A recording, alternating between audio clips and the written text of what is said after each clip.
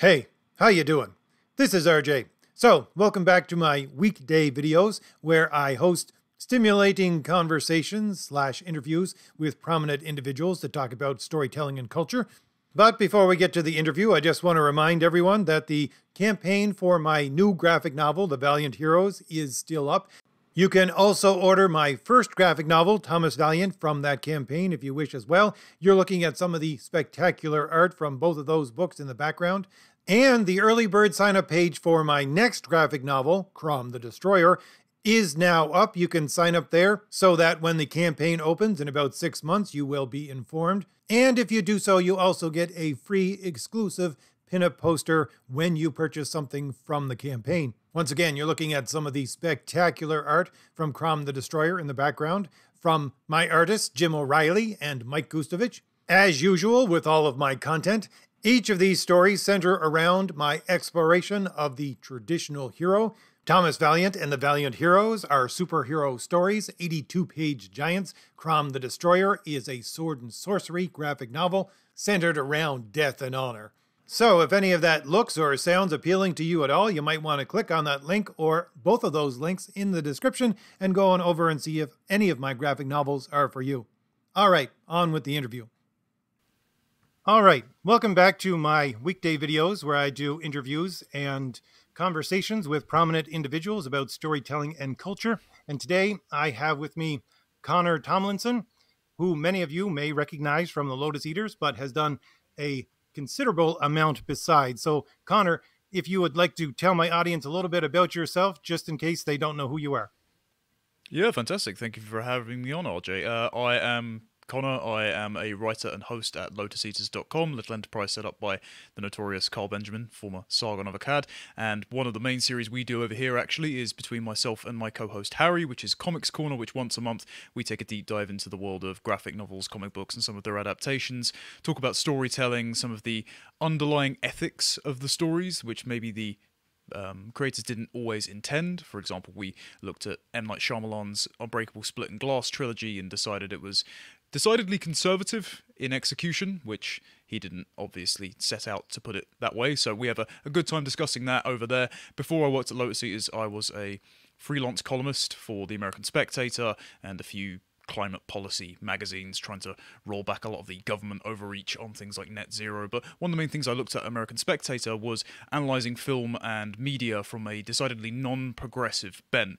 And the first article I actually did for them was analysing the Jon Kent Superman sexuality swap. So I've really cut my teeth in this sort of culture and media analysis realm. Um, I've really enjoyed doing it, mainly because one of my first forays into politics was back in 2014, back when lots of people were going, get the feminists out of our video games. while I was going, get the race activists out of my comics, because one of the most beloved characters I had of all time was Wally West, particularly from the Young Justice cartoon, though as I grew up reading Wolfman and Perez's obviously well celebrated new Teen Titans run, I found out I identified with Wally a hell of a lot because he had girl trouble and was instinctively conservative. So, what a guy. And when they turned him into Wallace West, just to make him hip, young, and African American, I nearly threw my new 52 copies across the room and I didn't quite understand why this was being waged, this weird war on all the things I held dear. But now, nearly 10 years on, I think we've got a pretty good understanding of why the culture is so interested in us, even if some of us aren't necessarily as interested in it anymore. So, I'm going to ask you my normal question I ask all of my interviewees, and it is to mm-hmm. get a sense of where you are just personally in looking at stories. So, what is your favorite story? And it can be from any genre you want. Ooh, this is really difficult question. I know you always ask this at the top of your interviews, and I probably should have prepared for it, but I'll go for comics and books separately. Uh, books wise, I've always loved things like Great Gatsby and Catcher in the Rye. I've always liked quite deep character studies, and even though I appreciate the forthrightness of heroism in something like Steve Ditko's early Spider Man work, or a lot of the old like John Byrne Superman style stuff of where the the moral forthrightness of the hero is always quite clear. I do like the tortured mid 20th century uh, American character studies because you can extrapolate a lot from the indecisiveness and, and tragic errors of the male characters, exactly what not to do. And also, the language is always really nice. As far as comics go, some of my favorites include the original lean uh, Len Wein and Bernie Wrightson run on Swamp Thing because I, I just love the art and the, the flowery language of the storytelling style and the pathos that drips through with, with Swamp Thing's character. But my first one is actually one of my favorites, and that is Batman Hush. So when I was about five, the Hush storyline was being released in monthly issues, and I got, I think it was 612 and 613, which was the return of Jason Todd. Those were my first two issues of comics ever. And my first introduction to Batman was, oh, he's a dad that's lost a son.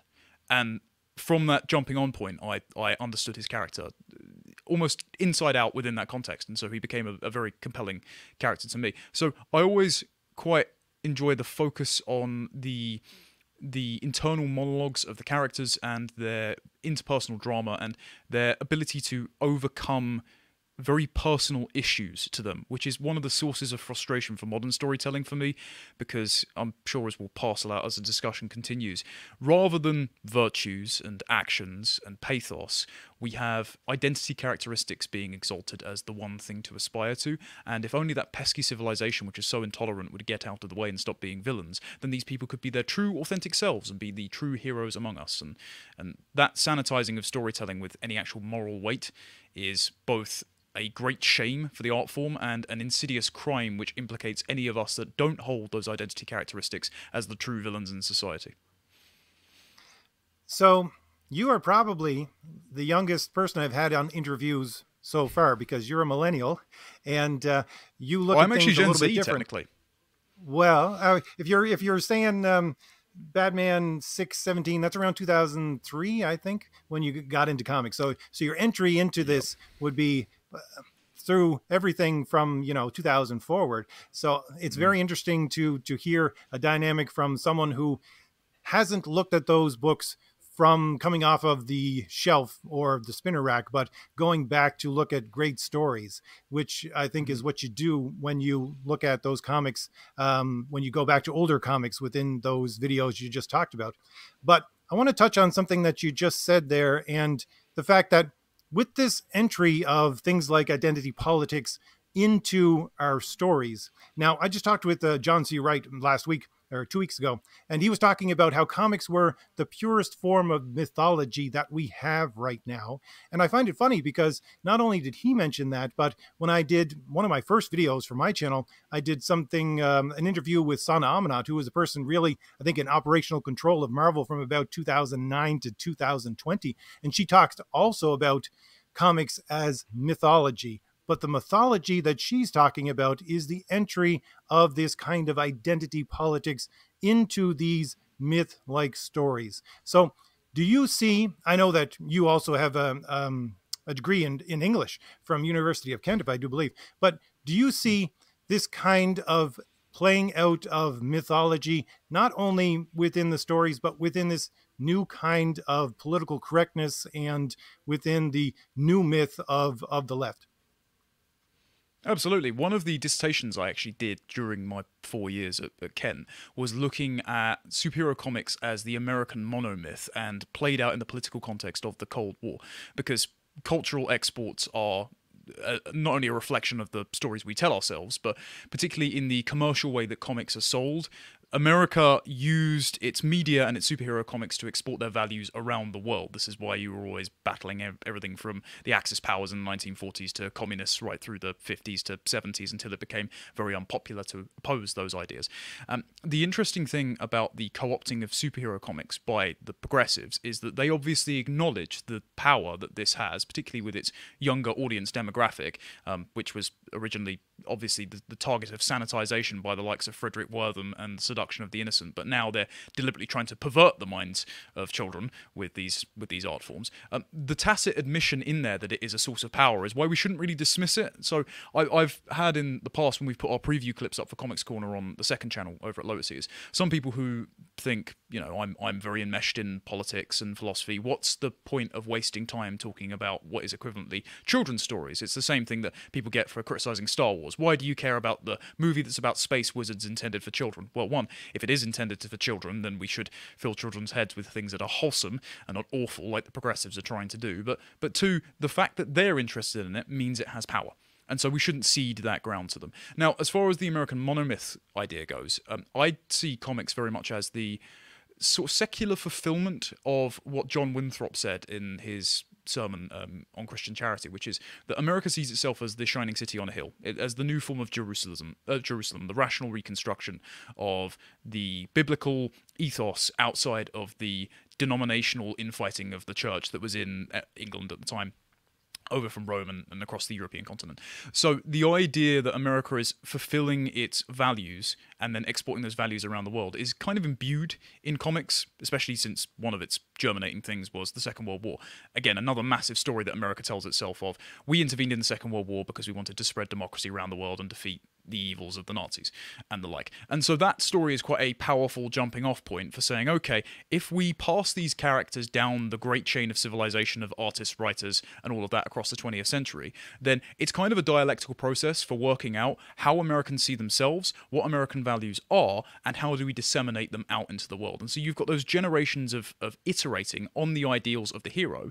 But something that's that's really interesting with comics as well is that because you have to take the property and, and run with it. There is something core and immutable about each of those characters, each of the cities they live in, each of the villains that they face. And so and especially because you keep inventing new villains to represent the new problems of the age or these these new moral quandaries that these heroes can be tested with you have to as a good writer take the core essence of a character extrapolate it play it out to its logical conclusion and put it in a bunch of different scenarios but always come back to the core morality that that the original creator imbued within that character and by testing that out in different testing grounds and different scenarios versus different villains over time we come to understand the kinds of of ethics that we should play out in the world and also to avoid sort of moral pitfalls. It's the idea that um, tragedy, for example, has the case so that bad ideas die so that you don't have to. Well, with superhero comics, we are playing that out in different contexts over generations, and all sorts of good artists and writers were able to do that. Now, the sad thing about the perversion of the American monomyth is that, one, um, America's not so great on the world stage anymore. And coinciding with that, you have this self criticism that's done not from a constructive angle, which you could do from like the libertarian right in the States, for example, that say we shouldn't be engaging in all these foreign wars overseas, we should be America first, and we should we should go back to our founding principles. Instead, intersectionality has crept in and has used the promise of equality within the American Constitution to undermine your faith in yourselves, take all of your stories, parasitize them, and make you so nihilistic and doubtful about the moral legitimacy of the American project that the Cold War engaged in spreading around the world so that while you're busy questioning yourselves, they can come and colonize it with their identity socialism, which just so happens to appoint them as the dictatorship of the black gay, queer, disabled, whatever proletariat. And so this is why we shouldn't allow the the great American monomyth to fall to the left as it has done. This is why yourself, Eric July, Chuck Dixon, all the folks that are doing things like Comicsgate, or even people that hopefully aspire to recapture these institutions like DC and Marvel before they inevitably go under because they're so unprofitable in the future. Um, this is why we shouldn't cede ground. This is why we should reclaim the great stories of the past and keep telling good stories out into the future because clearly it's a really useful utility for talking about how we we view ourselves and how we should act.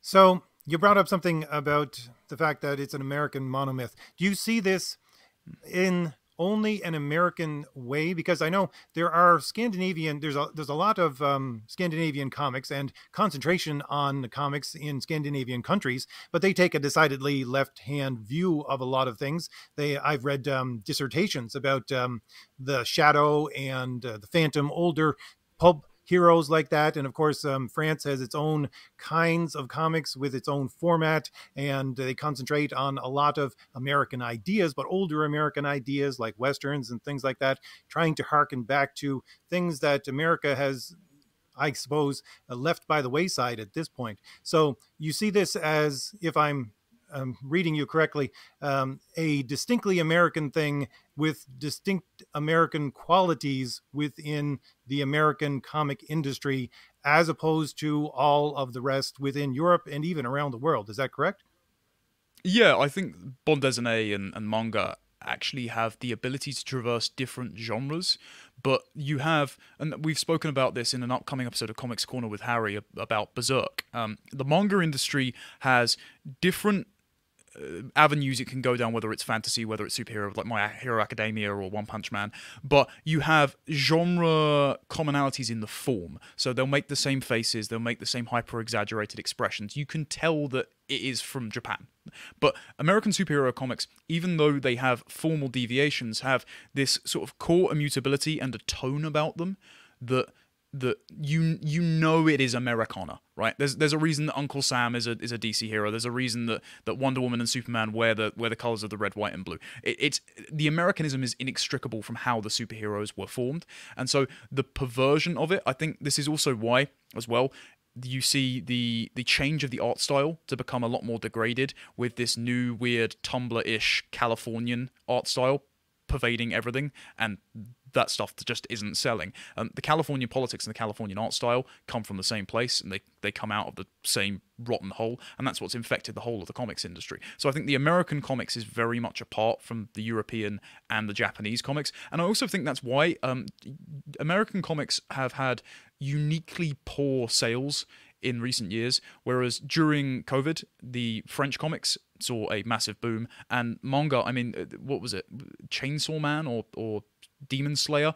In one year, outsold the entire American comics market, and I think the the values that haven't necessarily been perverted over there are why those are insulated as pure forms of entertainment, whereas the progressives have realized that as an American cultural product that can be exported overseas and can be used to wield influence, that comics is a useful thing to capture. And that's why it and video games were the first front lines back in 2014 in the culture war, which has now expanded up to the level of the presidency. So when you talk about comics, there seems to be a bit of a divide because I would say, from watching what I have seen you do, you're much more of a DC fan, and you talk about um, the mythology mm. of comics in a DC way. But the kind of stories that you seem attracted to are more of a grounded, gritty Marvel kind of character development story. So, just personally, when you're thinking about these things that we're talking about, um, what kinds of, of heroes would you be concentrating on? Would you would you be um, almost exclusively a DC fan, or um, am I mistaken on that? You're not mistaken. I, I would lean much towards it. I mean, I, I enjoy things like Daredevil. Um, the Frank Miller Daredevil run is undisputedly fantastic. But if anyone has seen my shelves and there is a photo in episode four of Comics Corner, I have a certain unique set of DC hardbacks only sold in the UK that all line up to the members of the Justice League and the JSA, and and you had to buy each one over the course of years. And I'm I'm very particular about that, and I've always just been drawn to DC. I think my my late uncle, who was a wonderful guy, was a Marvel fan, and he used to buy me X Men, Fantastic Four floppies, and I think he would be uh, gutted were he still around today to know that those all fell by the wayside. But but yeah, no, I I am interested in the dichotomy that that someone else phrased it like this. I can't remember who it was, but Marvel is um, human beings trying to become gods, and DC is gods trying to become human beings. And I I find that quite interesting. Of the because Marvel, I understand, has a lot of interpersonal drama. But DC as well, they not only have solid characterization, but they also deal with wider moral quandaries. This is why something like Identity Crisis and Cry for Justice, how Harry and I have tried to salvage from modern criticism because a lot of scorn gets poured on it. But no, it is interesting in the interplay of these grand powers, these people that that smash their fists together and, and topple skyscrapers okay, how does that apply to our considerations of how justice is dealt and, and retribution and and and vigilantism, and, and so I I've always found DC. I've been drawn more to it. Um, the kinds of characters I've dealt with, though, again, I enjoy Batman very much. I've always really enjoyed the the Swamp Thing runs. I've enjoyed Martian Manhunter, who has always been overlooked as kind of a side character, and I love his comedic inputs in Justice League International. But I wish we'd gotten a lot more of the kind of thing that Darwyn Cooke did in New Frontier, of of where he has serious identity issues of trying to fit in because he's very much a man of, of good character, but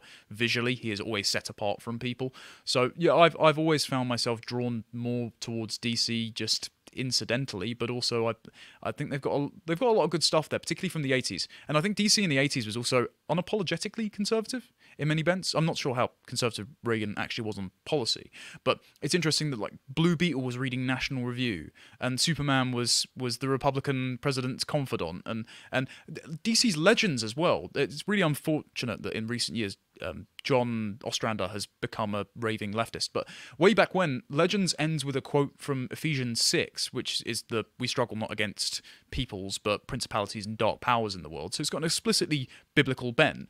And the entire point of it is the dark forces of Apokolips behind the scenes are manipulating the media to make people hate the excellence of heroism and blame all inequality on these excellent people. And he, with French revolutionary rhetoric, marches up to the Lincoln Memorial saying, We're going to tear down the White House and build something anew from the ashes. And that gets utterly trounced because the kids believe in heroism. And, and, it, okay, could you get a more conservative narrative than that way back when? There are seeds in Crisis on Infinite Earths that deliberately try to even just formally, you know, bring things into a streamlined continuity and, and make history make sense. But there are lots of little conservative plot points in there about the renunciation of the oppression of the USSR. And and so it's a shame that, that comics have really fallen by the wayside, and particularly DC as well, with DC Pride coming up. I don't know if you've seen that stuff, but trying to make an alternative universe of Hal Jordan gay, so he definitely is in love with Barry Allen, and sexualizing Nightwing to have on a front cover him doing squats while while bisexual Tim Drake takes a selfie. This this perversion is just really depressing to me because I can see that DC has had some great stories and has transmitted some really solid values across time. So, one thing I think that you would be uniquely qualified in talking about is since you're talking about, again, all of this as a American monomyth, where do you see the great storytellers and artists of um, English origin coming into the American comic industry and bringing new ideas, new kinds of storytelling. Because I know um, I struggled when I was, you know, going through comics a long time ago to get um, the Captain Britain uh, runs, you know, and all those kinds of things. You have in DC, there's Vertigo, um, and again, you have Swamp Thing, which I think those runs you're talking about are, are Alan Moore. All of that um, English sensibility that was brought in from the late 70s and through the 80s and 90s. Where does that play into the change within comics and the way they viewed themselves over those three decades, really? Okay, so I have been known on Lotus Eaters for my occasional contentious opinion, and I won't hold back here. I think they fit into it by partially ruining it. And I so if you look at the the dynamic between um, Watchmen and the Dark Knight Returns, for example, which we're gonna Harry covered Watchmen on Lotus Eaters long before I got here, but we're gonna go over some ground in future when we talk about Doomsday Clock and Rebirth, because I think that also represents the the purgatory cycle of reboots and redefinitions that you have had since Watchmen at DC Comics, and and you have the the ethic of Geoff Johns versus the ethic of Alan Moore is probably a good way to put it. And and so Geoff Johns is a very much a, a Silver Age reclaimist. Um, that goes really wrong when you try and apply it to movies. It turns out because he bastardized Justice League, but it actually goes quite well when it comes to uh, things like Infinite Crisis and and Green Lantern Rebirth because he understands the essence of the character and there is a an optimistic trajectory to their ability to overcome great evil, even if the stakes continually increase. And he also has a lot of reverence for what came before. Alan Moore, being an awful commie, is a deconstructionist, and I think Watchmen is a. I, I, I like how Grant Morrison once insulted it and it's a it's a shame that Grant Morrison's become a parody of himself. But um, he called it the the equivalent of a sixth form essay, and it it really does come off that way because it's got a a lot of polish and under examination very little depth.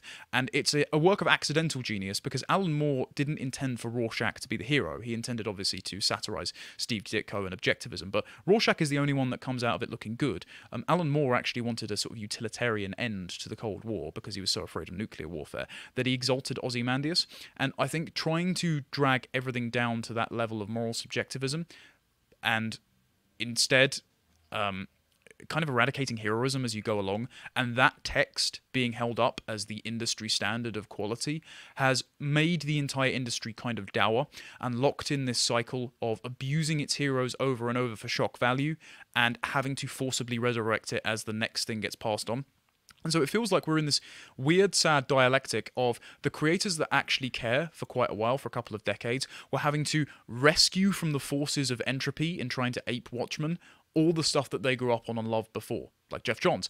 And now, because of editorial pressures and the overwhelming amount of intersectional ideologues that have staffed these institutions, not just at the creative level, but even in things like AT&T and Warner Brothers who are funding it, lots of those guys have either burned out like Johns did or just aren't being hired anymore. And so what you get instead is this endless cycle of of progressive reboots and revisionism and a totally devoid moral center. And part of the reason that totally devoid moral center is there is because they want to be the moral center. They want to be the legislators. They want just constant affirmation that they are good enough. And and that is a as someone said I believe on your show before, it's a deeply narcissistic thing and it's unsurprising that lots of the sort of foundations of intersectionality, being uh, Nietzsche, Marx, and the like, wanted to, as Marx once said, revolve around themselves as their own true sun. It is the always the project of putting the self at the center, and because you don't have to do anything to warrant that praise, the the virtue of the hero gets pulled out, and instead it just becomes okay. How can the entire narrative validate my worldview and my identity? And anything that doesn't validate it is immediately the villain. It's very interesting um, that you connect rebooting with um, the taking of a hero and drawing out the really good qualities of it because um, you have talked, uh, I think, at length uh, about um, the Dark Knight Returns, and uh, that would be in part, I would say, inspired by Alan Moore and what he had done with Watchmen. They wanted to make Batman much more um, gritty and um, something that was not the traditional form of Batman, whereas it became really the touchstone for what Batman was after that point. It, it was a much darker Batman. It was a much more, um, I don't know, villainous, even in some sense, Batman as compared to what had come before. And I know Batman is one of your favorite heroes, but you talk about sometimes about um, uh, Frank Miller and um, Dark Knight Returns in much of a positive light. I see it in a positive light as a creative endeavor, but not as in the legacy to which it has left us, because it has taken Batman and it has incorporated into him a darkness that wasn't there before. I would say before he was a light in the darkness, and he was someone who went out into the dark, but was always that light in the darkness for for a lot of people, and that was the heroic origin and really mainstay of the character what do you think of that dynamic and, and how it has played out with again one of your favorite characters?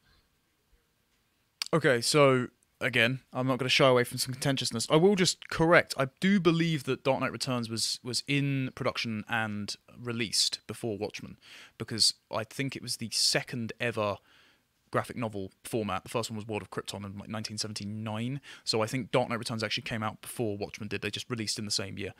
Um, but I would say that The Dark Knight Returns has actually had a positive impact on the legacy of Batman and reforming him from the campy 60 stuff where nobody took it seriously because he was neutered ultimately by Fredric Wertham because Wertham accused Batman of being a homosexual pedophile with Robin and then the progressives in this day and age thought, I like that idea, why don't we just make Robin gay? And this isn't going to look awful at all. But anyway, point being, I, I think that Frank understood Batman's sort of not Dionysian spirit because that's what other people say. The the sort of uber libertarianism about Batman that, that was demonized in by Mark Waid in Kingdom Come, um, when he outsources Gotham as an ANCAP utopia to robots which police only rights violations. So even though Batman's meant to be the villain in that, in many respects, he, he definitely isn't. Uh, but I, I think Miller executes very well on Batman's morality. He, what Miller has done, though, is he's become an acid on Superman, and I don't know how intentional that was long term. I, I, do know that Miller seems to conceive of Batman as quite a deeply resentful person because he said the reason I made Superman the villain of Dark Knight Returns was because Batman would hate Superman not only because he has it all together, but this is the guy who could fly when I needed a goddamn car, and that seems like a petulant characterization of Batman that, that isn't quite true. But with Superman, Miller has conceived of Superman as someone who is a loyalist to power and someone who is a big blue boy scout not in the way that he has a wholesome american ethic but that he's very much by the book and and goes by the rules and now we are trapped in that post dark age paradigm with superman specifically which is that the most popular incarnations of Superman recently have been obviously he's going to be an inevitable fascist. And there are two things with that. Um, number one, it's a great shame that we don't have some kind of strong moral character from Superman because he is a great reference point for things like fatherhood, as we saw in the unfortunately brief rebirth run, which then was absconded in favor of Brian Michael Bendis. And now we're locked in this cycle of okay, Grant Morrison had to rescue Superman from becoming a fascist with Superman and the Authority, but then he's teaming up with the Authority, which he was meant to be satirizing with Superman 775. And we've got Injustice, and we've got Homelander as the sort of cultural touchstones for, for Superman. But then the other thing is, I think the reason we can't rescue it is because back to the idea of American superhero comics being a reflection of how America thinks of itself, nobody's really that willing to stand up for American values anymore. Um, this is a great video you did actually quite a long while ago now about truth, justice, and the American way. I think after 9 11, the synonymousness of, of America with sort of self doubt and the fact that it it did some imperial actions on the world stage, and that both the libertarian right and the intersectional left that never liked it in the first place found a wedge issue to criticize it on those grounds it means that it has been quite difficult in media to, for quite a while, parcel out what American values are from what America is doing at the moment. And now, again, the institutions aren't staffed by anyone who has a positive word to say about America. And so ground has been ceded for the heroes which best represent American values unapologetically to either disregard or deconstruct them entirely. And that's why I think we had to, we, we seen, we didn't have to, but we have seen them disregard the original Clark Kent Superman, almost allow him to languish in a fascistic state, culturally it's speaking at least, if not him being in canon at the moment because I know he's just come back from Warworld, and instead have his bisexual son take over, who has a boyfriend who idolizes the latest incarnation of Lois Lane, who is now almost a complete career woman because she and Clark nearly had a divorce, and her most recent series written by Greg Rucka had her literally shouting at Sarah Huckabee Sanders uh, at the press conference uh, for the Trump administration. So all of these things are are imbued with self-criticism of American values, American uh, America's presence on the world stage, and it plays whack-a-mole with any attempt to try to resurface a kind of American patriotism that says, no, compared to a lot of other nations on Earth, we do actually have a noble project, which, if we haven't always lived up to it, it's good on paper. So, speaking of what you had just referenced, my old video about truth, justice, and the American way, I did it because I ran across, um, I think it was Superman Smashes the Klan, uh, done by, I think it was Greg Yoon. I'm not entirely sure his name off the top of my head, but he basically um, did a Twitter thread where he talked about um, either you're for tolerance, which should replace the American way, and how he defines tolerance is what the left is, the progressive left is. That's how he defines tolerance, or you're for blood and soil which is an old Nazi term. So this is mm. exactly what he's trying to do. He's saying you're either progressive or you're a Nazi. And this is what a lot of people, when they go back, I get a lot of comments on that old video about Superman smashes the Klan. They don't quite get the nuance of the fact that this is what is being said, and it's a line right down the middle of either you're on our side or you're completely evil. And that's something which I think is missing within the conversation everyone is having around comics because older comics everyone is trying to say no it was always this way. No it was always that way. I would say no it was a medium wherein as you said having um, an american um, monomyth there was an ability for both sides to exist at the same time where they could have a discussion and parse out what exactly was going on within this story and possibly fall on one side or the other, depending on who you are and what your ideas about existence are. That is what is missing within modern comics and the discussion around modern comics, if you ask me. There is no ability to to allow for someone to say, yes, you're right on this point, but let's explore where it is wrong. It's either you're completely wrong or you're completely right. Do you see that within not just the books themselves, but also the analysis around comics, part of which is what you're doing? So I, I think it's important here to highlight the fact that, and I don't think Gene Young, I think his name's Gene Young, um, knows of this concept, perhaps, but he definitely is playing it out. When he says tolerance, he really means Herbert Marcuse's concept of repressive tolerance, which means that, okay, leftism is on an inexorable arc of social justice, as MLK would say and once plagiarized. And so, because we're inevitably progressing towards utopia, the good progressive's job is to steward that arc and expedite it as quickly as possible so that the most amount of people get to see utopia in our lifetime. And so, anyone standing in that way, because we've predefined ourselves as as correct, uh, as Karl Marx would do with the dialectic of historical materialism, he believed that he had a totalizing theory of history that went from feudalism to capitalism to socialism to communism. And because he'd predefined that arc as happening, therefore, any action by the revolutionary proletariat against bourgeoisie was justified, up to and including murder. Um, because that's the case, that anyone that's arguing against that is not a a principled piece of opposition is not suggesting a different way of getting to utopia. No, instead they are speed bumps over which we should drive as fast as possible because otherwise we will never get there. And so with repressive tolerance, it just equates to the old the old way that Marcuse formulated it as we tolerate all movements which progress us to the left and are intolerant towards any movements which hold us back from the right. So it's just a tribal signifier. It's the old Carl Schmitt distinction of friend and enemy. And what they're doing by playing the friend enemy distinction in the progressive paradigm is they're saying, okay, we've predefined ourselves, our identities, as marginalized because we've been born into this world of institutional oppression, and we're institutionally oppressed because we don't have all the power, and all that matters is power. There is no truth but power, so we need the power in order to create the truth that is the new utopia. Okay, so what we do is we tell stories about ourselves. This is what Charles R. Lawrence III called for in The Word and the River, that we need to flood the airways with our stories so we can create a consensus, which then justifies in the eyes of the powerful us rising up and taking some of that power for ourselves. So what we do is we create characters which represent only us, and that is our intersectional identity marker our race, our sex, our sexuality, our disability, our religion. All these infinitely fractioning things that are turtles all the way down, but always create new grievance constituencies to tear the society asunder. And we say, okay, by virtue of them, having an oppressed identity, they are struggling. So their struggle is the heroic struggle. This is why the um, uh, Tom Taylor, you said in your video with the quote he had was that he's a young bi guy, and that's really empowering. Okay, by virtue of, of Jonathan Kent being bisexual and the entirety of society being intolerant, he is having the chains of civilization put upon him, and breaking those chains is the heroic act. So rather than actually having actions which are virtuous, having having values which are virtuous that shine through. No, they were they were predefined as virtuous by the sake of their identity, and it's only that the society isn't letting them to be their authentic selves. That's the only reason that they aren't being fully celebrated, as you see in, in DC's Pride, where they have literal super pride floats going down the street. So the the innate implication in that narrative is is one civilization is what's standing in the way of utopia so it's it's a heroic act to destroy all and rebuild anew and two uh, if you aren't the identity which is being celebrated you are automatically implicated as the villain. And so that basically means that straight white men are indistinguishable from lex luthor.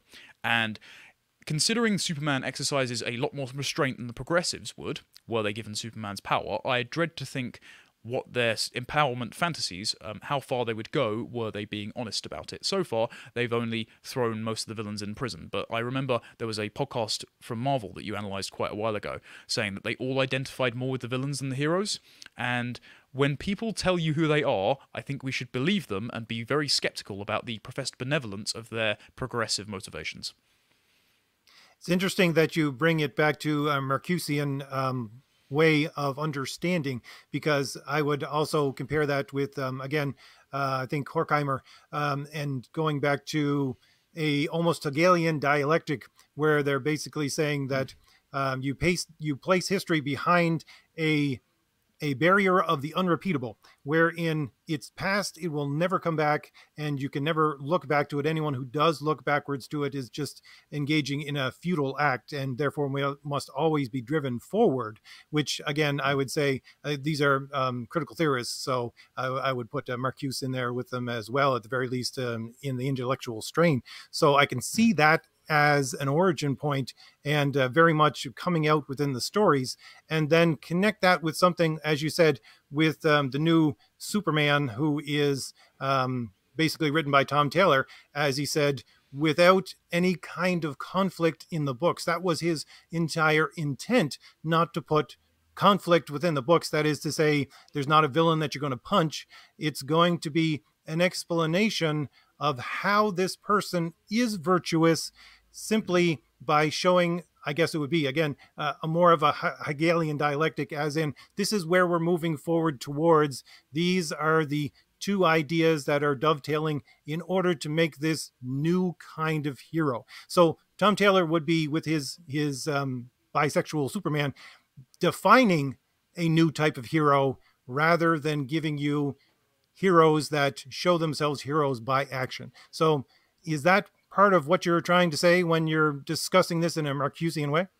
Absolutely, and and I wanted to bring it back to the point that you made earlier that sent me on this tangent, which was, yeah, quite a few years ago, you would even if you had liberal writers like Denny O'Neil, who I greatly respect despite disagreeing with probably all of his politics, he at least had the good sense to not insult the reader by having a debate play out. Now, I think the Green Lantern and Green Arrow comics are terrible in terms of the writing. I I, I think they're just you know the, the issues that they present they're they're more one-stop shop think pieces than they are proper character development and you get a bit issuey of the week but at least he had the due diligence to put up a more conservative character like Hal Jordan with a more liberal character bordering on socialist with Oliver Queen and have a bit of a, a back and forth because in the first issue Ollie gets one over on Hal with the most annoying uh, sort of treatise by introducing him to the, the black tenant that says, "Oh, you you do things for the, the purple skins and the yellow skins, the orange skins, but you never do things for black folks. And for some reason, this is a major own to Green Lantern who has to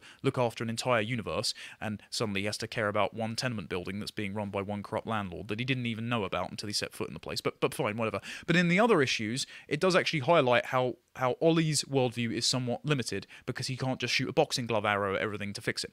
And so at least Denny O'Neil, despite his politics, had the due diligence to not insult the intelligence of the audience. Now these people see themselves as the the new priestly class, the kind of tea leaf, uh, tea leaf readers of systemic racism, the doctrinal interpreters of what has already been predefined as correct. And you silly plebs just don't understand how great my intersectional theory is, which always happens to result in my empowerment, my enrichment, and me ruling over your lives. And so I just have to sit there and explain to you, rather than play it out in the conflict, because we've already had the conflict, it's over, you know, history is already on this inexorable path. We don't need more conflict, just shut up and take it. I have to sit there and explain to you through an autobiographical account of this new bisexual Superman who's going on school climate strikes rather than, you know, flying up to the ice caps and freezing it with his frost breath or whatever. I have to make you understand why this is an archetype you must follow.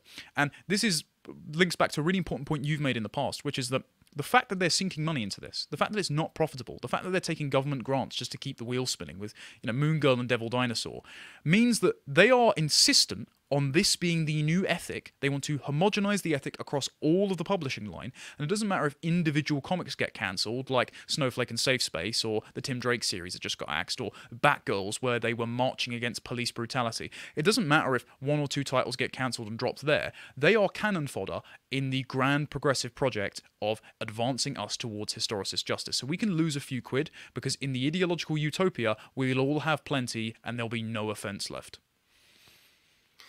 So I wanted to go back just one of the things that you had pulled on and um, talk about Wally West for one second. Mm. And that is one of your favorite heroes. You just uh, talked about mm. Wally, but again, within this um, American project, this American monomyth, um, the reason why I wanted to talk about it is because that was the first book I can remember where they replaced an old hero with a new hero, took the junior member and made him into the actual Flash. And um, hmm. that may not have been the case, but as a comic reader, when that was coming out, that was something exciting and new at that time. So it was taking an older hero with older ideas and being expressed in an older way towards that generation, and then revamping it to a newer generation with newer ideas and newer heroes.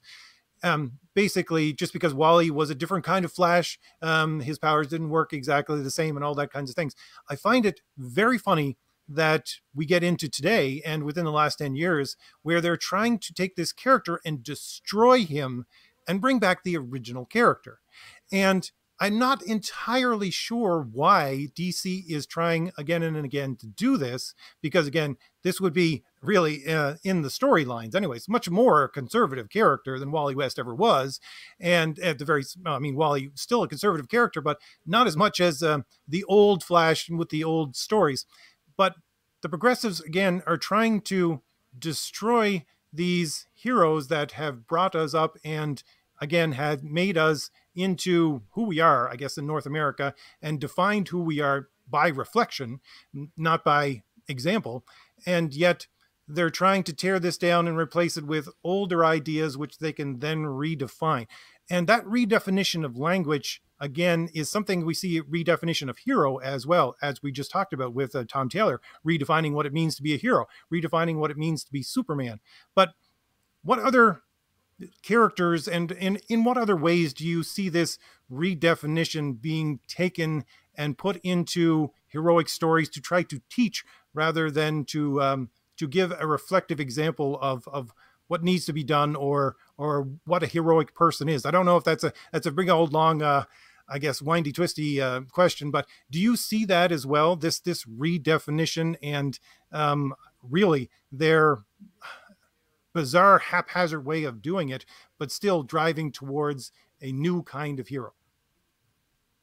Yeah, I, I, I wanted to pick up specifically on the Wally West bit because I think that so I'm not going to attribute ill motive in the same way I would the intersectionals to Geoff Johns for bringing Barry Allen back, though I do think that Flash Rebirth, n- not the 2016 version, the the 2009 miniseries, uh, was a mistake because I think that we should have kept Wally and, and kept Barry dead, um, which is seems to be how lots of comic book characters should go, really, in hindsight. But anyway, point being, I don't think that that, that was ill motivated to eradicate Wally. I think that that was just Silver Age revivalism nostalgia by Johns. But that did create the unfortunate pigeonholing of Wally as a redundant Flash, even though he had been the Flash for nearly 30 years at that point, at least 25. And with the advent of the 2014 Wally, that was an obvious attempt to race swap the character. Like there's there's no reason that he should have been changed whatsoever beyond you just wanted a, a an African American Flash. Um, the same reason as there is no reason the Batwoman needed to be a lesbian beyond the fact that Dan DiDio wanted a lipstick lesbian Batwoman. And all the great art from J.H. Williams III in the world cannot take away from the fact that she was a tokenized character from the off, right? The the introduction of Wally again in 2016 Flash Rebirth was a really hopeful moment for many people because it felt like the fans were thrown a lifeline, that the continuity was respected. You didn't even have to eradicate Wallace West. He was sidelined just by virtue of nobody really wanted to write about him except for in uh, the Teen Titans. Yeah, because it was Titans and Teen Titans title. And the fact that Wally was back meant that continuity and the the fact that the fans had paid for decades to give the people who had ruined their properties a job that was respected. Then what happened was with Heroes in Crisis in 2018, that not only killed off all the momentum, momentum of Rebirth, but it was much in the way that, and I don't really like Nietzsche very much, but in Twilight of the Idols, Nietzsche said much of philosophy is confession.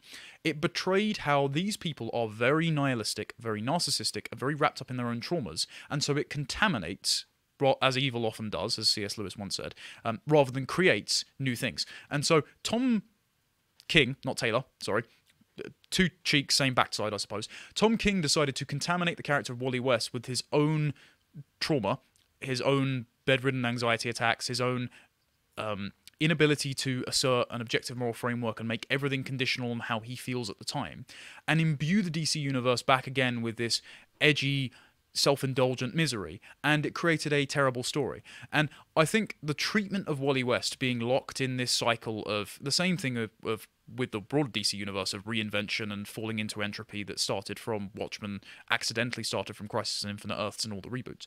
I think it betrays the fact that the, that the progressives genuinely have not a creative bone in their body. They don't understand real pathos. They don't understand real heroism, and uh, unfortunately, Wally West has been a casualty to the progressive project when he was one of the great characters. And he was a great character because he earned his spot. He came up, he was a sidekick, he then inherited the mantle of Barry Allen, and much to the, the benefit of the fans, he did right by the mantle that he inherited. They the, the creative team that went it wasn't just Waid, it was I think it was Messner-Loebs that picked up the original Flash in '86 when he when he won the lottery. I could be wrong, correct me on that. Um, they took the core essence of the Flash and took it forward with the new spin of, well, I feel intimidated because I've got to live up to my Uncle Barry's example. And the fans really warmed to him because they felt, in many respects, that, that he was paralleling them. They'd grown up with the character too, and they'd grown into a new era. So that's why people loved it because it was personalized, because it respected the buying power of the consumer that was keeping the industry afloat. Now they actively try to propagandize the consumer and then spit in your face, much like they did on that Zoom call with all the uh, LGBT creators, including James Tynion. And, and James Tynion, actually, this is a this is a great point to link it back to the dialectic. James Tynion basically articulates this dialectic because he openly admits, yeah, there's going to be times when the pendulum swings from progressive to reactionary and back and forth. There's going to be market pressures there. There's going to be cancelled books. But all we need to do is hold our breath and wait it out. And eventually, the long arc of history will eradicate any of our opponents, and we'll get to there if we just keep chipping away at it with with transing the characters and queer washing the characters. So the progressives are very conscious of this being their project, and unfortunately for the consumers, they don't care which characters they have to step on to get ahead. And this is actually one of the great tragedies of the fact that yourself, Eric, um, uh, so many other creators have to do things like Comicsgate, is that in order to be creative, lots of people are shut out from industries. One of my great dreams as a kid was always to contribute at least one of the little stories to the the collection that would end up being, you know, uh, Superman's 100th anniversary issue. But that's never going to happen because I'm never going to get hired because I'm a straight white man, right? So what's happened is it has allowed us to have a new wellspring of creativity. Brand new stories be told, brand new artists can come up and and and tell these great new heroic paragons of virtues in different settings. Fantastic stuff. But there is something irreplaceable about the nostalgia we feel for certain characters, and those almost necessarily have to fall by the wayside in the meantime because the progressives have utterly captured this institution. And so people like Wally West, characters like Wally West, because he's not real, um, that I really looked to growing up and, and really enjoyed the exploits of, they have become cannon fodder for this long arc towards justice, and it's just very sad to see. So, again, one of the things you just touched on, and I find really telling, is again that line you had from Nietzsche um, that all philosophy is self confession. Um, these people, again, when I listen to the podcasts that specifically come out of Marvel, over and over and over again, and I've said this in many of my videos, um, they talk about their mental health and how many times they have to go to the therapist, and and it's usually women because this is mostly coming out of the Women of Marvel podcast or or Marvel voices who concentrate on uh, these intersectional feminists, but they talk about it as a normal thing, and I'm thinking to myself, uh, no. Again, the way that you would put it, you have mates that go down. You go down to the to the pub and have a drink and and uh, you know hash things out with them. You don't need to go to to a therapist in order to solve all of your life's problems. But we, what we see is, I think, on the page, the expression of the fact, which I would say, I would guess, anyways, that most of these therapists are, are just um, acknowledging their identities and and pushing them more into this direction and say, express it more, express it in a way where you can really what it is is get more attention. And so they they slap this down on the page as a mental health exercise, which is a reflection of themselves instead of a story. And that's what we get within a lot of comics right now and have for the last 10 years or so. And it is destructive not just to comics and to individual characters or even just to the industry but to storytelling itself and even the english language i would say to to a base extent but am i just projecting something onto what these books actually are or do you see that in a lot of this as well no, I see that all the time. Uh, one, the butchery of the English language is most evident in, and I, I know it's one of the later issues, later 79s or 80s, it might be 76, I think, of Tom King's Batman run, where Gotham Girl is fighting Blockbuster, and the entire page is just her babbling away to herself. And not only is the dialogue written in modern vernacular with a Valley Girl accent, but it also breaks the form of comics because the comics panels, the, the gutter space in between, is meant to denote time. It's meant to take the reader on a journey, and, and you meant to fill in the gaps between the static images. But if she's having this Iliad of a soliloquy in this one static image, it, it takes you out of it entirely. So it's not just poorly written and structured on an English language level, but it is confession. Um, lots of these people, this is why you constantly hear about representation. They need to see themselves in everything because they're narcissists, but they're also deeply insecure. In order to feel validated, they need to feel validated by their therapist, their author, uh, Twitter, apparently. And part of this is because of their deep insecurity their consciences are screaming at them at all times, and this is this is something that I've spoken about before with with the Pride parades, right?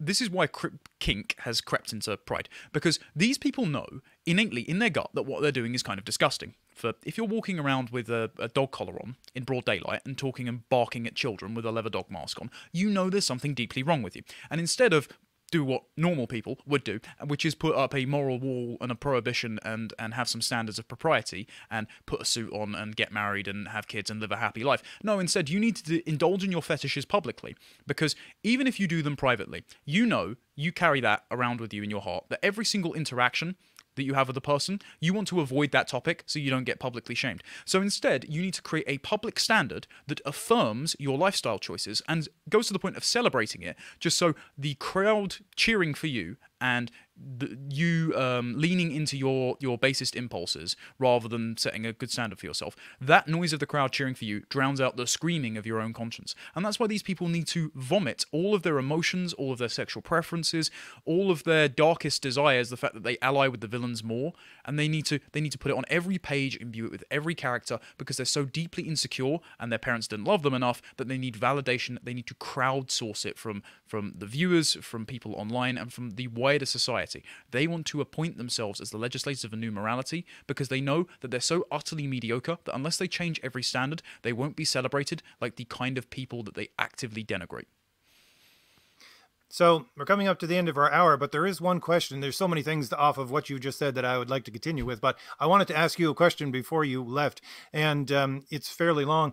But for me, anyways, um, I find again that denigration of the English language something which is the most lamentable because even within my past, I mean, we had we had anyways. I don't think it's this way anymore. We had um, a concentration on an English style setting of education. And when I was in high school, um, our English classes centered around Shakespeare. Um, when we um, went to university, if you took English, um, a lot of it centered around Chaucer. And, you know, there was a, a leftover of before comic books, there were you know, stories for children were things like the Iliad and the Odyssey, or versions of them at the very least, like uh, the Battle of the Frogs and uh, Toads, or Frogs and Mice, uh, things like that. So there is within that, and I would say especially within the study of Shakespeare, even though some people find it so dry, there is a lyrical quality which is added onto the English language, which is specifically, I would say, denoted by the works of Shakespeare. Because if you go back to the Greek and the Latin, it's fairly easy with um, the way that the prefixes and suffixes work to put in that kind of lyrical quality. But when you take something like um, the the plays of Shakespeare with um, iambic pentameter, it just exalts English to a point where you see how lyrical and beautiful it can be. And that has been lost through education and the denigrating of these great works so that we no longer see it within even basic storytelling, within the exaltation of the English language of what it can be. But if since you're sitting there in England and you have your pulse on what is going on politically, is this something you think will ever make a resurgence? Or is it something that is being destroyed continually?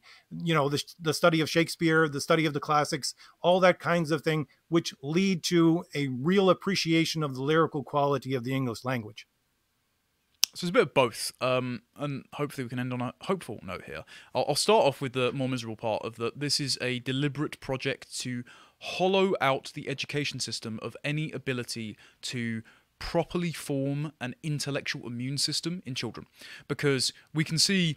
I think C.S. Lewis put this really well in The Abolition of Man with the example that he used of the Green Book, which was a school textbook written by people he pseudonymed as Gaius and Titius, and they try to debunk everything about the idea that the world is innately imbued with qualities, eh, whether you want to attribute it to a divine creator or some sort of undercurrent of the universe that human beings can collectively but disparately identify as a common human experience. The example they use is the beauty of a waterfall. And they say in the textbook, the the person that is observing the waterfall is described as projecting their feelings onto the waterfall, rather than the waterfall innately being beautiful and soliciting in every man who looks at it a feeling of overwhelming awe, of beauty, of sublime. And so Lewis says you shouldn't disenchant the world because, one, it's ridiculous to say that basically I have sublime feelings and project them onto all things because that makes things very nihilistic. And also, it doesn't really make sense and it doesn't line up with, with how we move about and interpret the world. But but also by disenchanting the world, you you ensure it so that people are not adequately armed when their civilization comes under threat to defend it. And that seems to be a deliberate thing that has been done um, because, of course, we, we know that there has been a counter movement in education by the likes of Paulo Freire and Pedagogy of the Oppressed, which says that there should be no hierarchy between student and teacher, that instead the student and teacher should reciprocally in dialogue, in a dialectical process, the teacher should be unconditioned by the naivety of the student from the the civilizational oppression that we've been talking about that besets heroes in comics now. Um, they should have all that repealed by, by childlike questioning, and the children should as well be imbued with all of the Marxist rhetoric that the teacher should be learning and putting into their heads to make young, perpetual revolutionaries, people that want to tear society asunder to apparently build something really good from the ashes, and it will be real communism this time, you guys. Um, I think actually, though, that the backlash to this that we're seeing we haven't reached peak woke. We haven't put woke away. There's going to be a whole new issue that eventually comes down the pipe and, and dwarfs the, the trans issue, for example. It's always just going to get worse. But people are beginning to slowly insulate themselves. And you can see this, especially even among the the rise among my generation, who lots of whom aren't parents yet. I'm not parents, but I know I've agreed to homeschool my kids or at least have a have my colleagues privately tutor them or, or at least vet the values of a school that that I would be putting them in that we want to give our kids the kind of education that we were in large part deprived of. You know, I, I remember Peter Hitchens was sitting on a question time panel quite a while ago, and he decided to recite off the top of his head some beautiful poetry and said, "Isn't it a shame that the average schoolboy doesn't know this, doesn't know Ovid, doesn't know Chaucer, doesn't know some of the some of the great hymns that were written?" Um, I I find it actually really nice now. I, I become a church going Catholic rather than just a, a casual Catholic over the last year or so, mainly because I take my nan on Sundays, so we have a nice time. I found it really enriching to learn some of these hymns and prayers and the like off by heart, and I found it's actually expanded not only my, my sense of connection with the metaphysical and with beauty and with gratitude, but also just my intellectual capacity. And, and I think that things were better when you were able to learn and were versed in the great works of literature. I think that's also one thing that, that is a great shame that happened in the US of taking the the Bible out of schools entirely, not because I want and expect every child to believe it, but because how are you meant to understand the great canon of, of English literature without understanding the reference points that the likes of Milton and and Mary Shelley based their work on. It's it's to deliberately deprive you of the ability to, to mount a defense of your own civilization. But the good thing about this is the more people wake up to the fact that we were deprived of this, of this education, the more people wake up to the fact that we were deprived of it for deliberate reasons, the more people want to pass it on to their kids. And so while I have an immense library of some of the greatest comics, and I urge everyone to buy physical media where, where you can as well, because otherwise they'll just eradicate it and erase it, and every record will be rewritten per 1984. But not only do I have that massive library of comics to give to my son one day for pure escapism, but I do aim to build a body of work both at Lotus Eaters for the wider culture, to, to debunk the debunkers, but also try and keep hard copies of some really great literature and, and understand it myself so I can sit there and discuss it with my future kids. And I think if more people did that, we'd be able to to counteract the nihilistic programming and socialist indoctrination going on in every educational institution across our various countries. Well, I wholeheartedly agree. I think that um, memorization is one of the things that has gone by the wayside, which really should be something that everyone should practice. Not only is it good for your mental health, but if you take some of these great works of poetry or philosophy or anything else and you memorize sections of them or, or Psalms or things like that, you memorize them and they become part of a, a beautiful natural flow within your mind in order to describe the things that you run across. I, I find that to be mm. uh, something that is really, really uh, helps me, anyways. I love um, trying to memorize these older works of, of great literature. Anyways, we could go on, I think, for several hours talking. Um, there's so mm. much there that you have said that I, I would love to discuss. I, I would have you on again if you ever want to come back. But um, before Definitely. I go, I just want to give you um, a chance to let everyone know where they can find you and uh, anything else you want to talk about about what you're doing in the future. Wonderful. Yeah, thank you very much for having me on. And I'd obviously definitely like to come back. It's been a really nourishing conversation. You can find most of my work these days over at lotuseaters.com. I have a author portal on the website. It's just on the drop down menu of, of in house contributors, and just click on Connor so you can get all of my latest content. We also have Comics Corner, a series that Harry and I do once a month. The most recent episode was on M. Night Shyamalan's Unbreakable Split and Glass films. The next episode I will leak exclusive to your channel will be on Berserk, and we take requests from our audience at any time. So please go over and sign up for as little as £5 a month to get all of our premium content every month, and you can engage with us there. If you want to reach out to me, just get in touch on Twitter at con underscore Tomlinson, and I'll often post my clips from other bits of TV I do because over the course of the last few years, I've been a freelance contributor to some British TV stations like Talk TV and GB News, and also even occasionally to some American stations like the First TV. So you'll catch all of my clips over on my socials and most of my content on lotuseaters.com. Well, thank you very much. And again, as I said, I would love to have you back because I have so much I want to discuss, even with what we've just talked about. So thank you once again. So, if this interview has given you anything new to think about, hit like, hit the shield in the lower right hand corner of your screen to subscribe, and leave me a comment. Tell me what you want to add to this conversation. And don't forget, the links are in the description, both for my two superhero graphic novels, The Valiant Heroes and Thomas Valiant, and also the link for the early bird sign up page for Crom the Destroyer. All right, I'll leave it there. I'll see you later. Bye.